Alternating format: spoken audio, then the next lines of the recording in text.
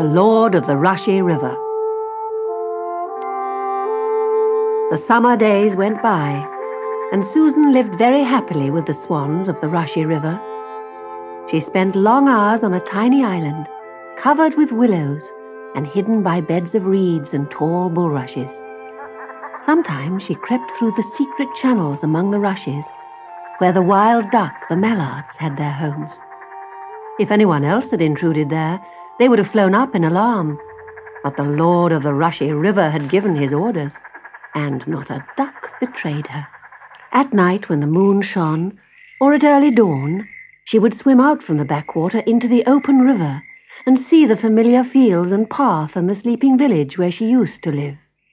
Every now and then, someone out late or very early caught a glimpse of her, and a tale went round that there was a water sprite in the river, but few people believed it. Every day the Lord of the River brought food for Susan, he collected it in a basket she had made from rushes, and which he carried in his beak. Sometimes he visited the watermill, where the miller's wife always gave him something, or he would stop at the bridge and catch in the basket the best of the crusts and bits of biscuit which people threw down. Most days he called at the baker's backyard. The baker's little daughter would sit on the low wall, looking out for him. In her lap were buns or scones or rolls or broken cakes from yesterday's baking, and she little guessed that they would be eaten by a child like herself. The swan bowed his head courteously in thanks and swam on. Susan became taller and plumper, browner, happier and prettier every day. Only one thing troubled her. Where could she get a dress to put on when the time came to meet her daddy?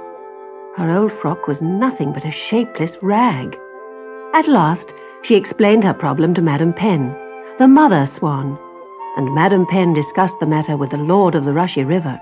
My son says he can help you, she later announced to Susan. Every Monday, the baker's wife hangs out her washing in her backyard. Next time he sees one of the little girl's frocks there, he will fly up, remove the pegs, and bring the frock to you. The child is just your size. Now, isn't that a clever plan? Isn't that just what you want? But Susan was quite distressed. Oh, please, Madam Pen, she said. It's ever so kind of him, but he mustn't do that. That would be stealing. I couldn't wear a stolen dress. Both Madame Pen and her son were puzzled by Susan's reply. The two swans were brave, patient, and kind, but they had never had to worry about right and wrong. Susan explained what was meant by stealing and persuaded them that it was wrong. But the Lord of the River did not give up hope of finding her address. On windy washing days, he always kept his black eyes open for a frock blown through the air from the village clotheslines. As summer turned to autumn, the seagulls flew up the river to follow the plough over the fields, but they always left sentries on the coast to watch for Susan's father. One day, a big herring gull came flying from the coast, crying, News! News! Wheeling in great circles, he descended to the old swan's nest where Susan and the swans had gathered eagerly to meet him. He then told the story of how he had flown far out to sea to a ship sailing slowly to port. He had perched on the rigging and listened to the sailors talking about their families. One of them, a tall man with thick grey hair and dark eyes, had talked about his daughter, Susan.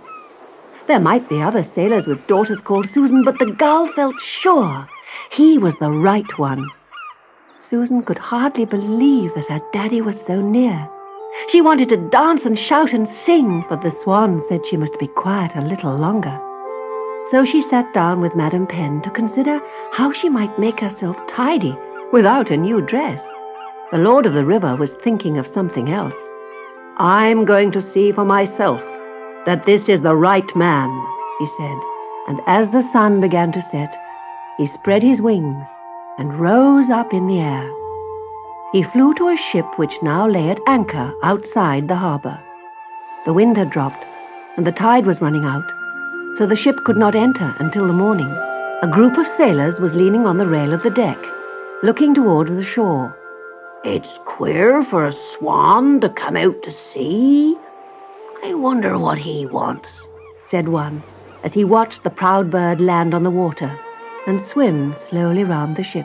Why, I'm sure it's John Swan, said a tall, grey-haired man.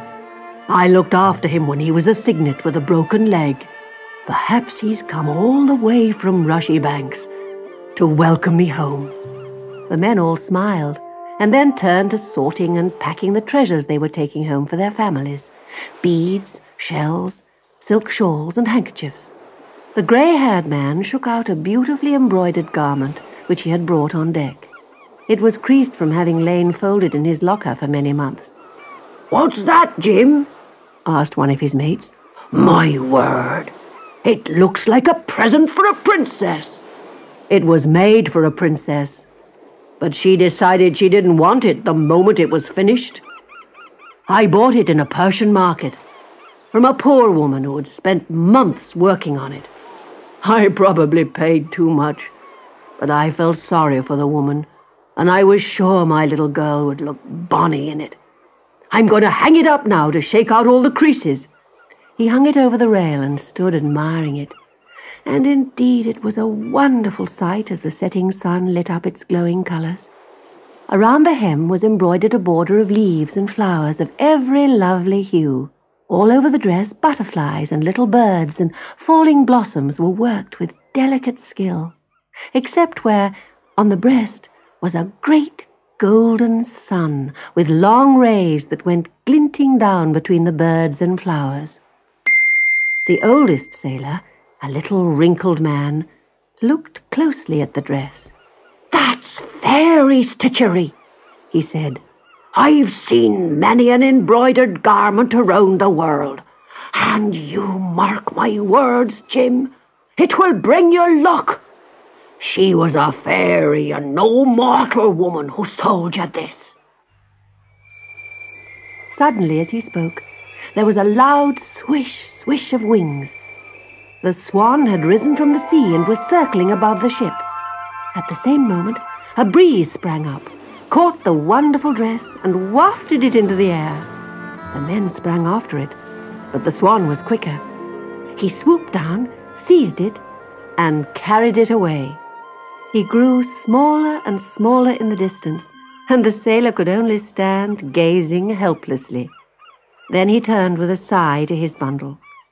All he had left was some beads and a tiny amount of gold. The day after, as the sun set, Susan sat waiting in a little thicket on the river bank, where the wild clematis made a secret arbor for her to hide in. She had swum there early in the morning, and it was there that the lord of the river had given her her dress. He would not say where it came from, but Susan was so charmed that she took it without question. After all, he was a wonderful bird, so why should he not give her a wonderful gift? She was all ready. She had said goodbye the day before to her shy friends in the backwater, but not to the swans. They were all now gathered in a group, with their eyes on the bank. A traveller, tramping towards Rushy Banks, saw and wondered at them. He also wondered at the seagulls who seemed to be going with him, dashing ahead every now and again, and crying and calling, and then returning and wheeling around his head. Suddenly their cries grew louder, and a girl ran onto the path in front of him. She stood shading her eyes from the setting sun that shone full on her rosy face and bare brown hands and feet. It shone too on her dress and showed all its fairy colours. The next moment she started forward and with a cry of joy she was in her father's arms. The seagulls ceased their screaming, and the swans, all but one, glided silently away. There was so much to talk about that when the stars came out, Susan and her father were still lingering on the river bank.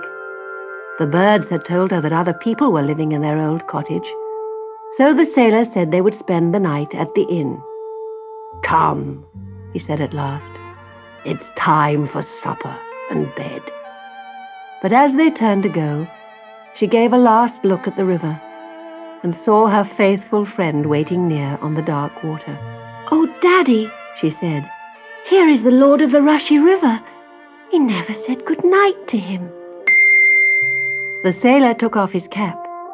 My lord, he said, I'm a plain man, and John Swan was the name I gave you when we met before, not knowing your title. But whatever I call you, I thank you, sir, with all my heart, for your care of my little girl. Well satisfied, the Lord of the Rushie River bowed his head, then sailed majestically home.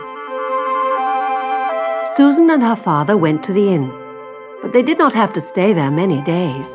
At that very time, the old ferryman gave up his job, and the sailor took it over. The little cottage by the ferry, a mile down the Rushie River, just suited him and Susan. In the years that followed, he never tired of telling how all his happiness was due to John Swan, the Lord of the Rushy River. And John Swan visited the ferryman and his daughter every day and felt proud of his share in their story.